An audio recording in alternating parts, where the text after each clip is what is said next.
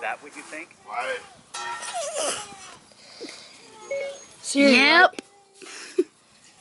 That's what I figured. Why, why are you so ugly? We were talking about you, not me. Oh.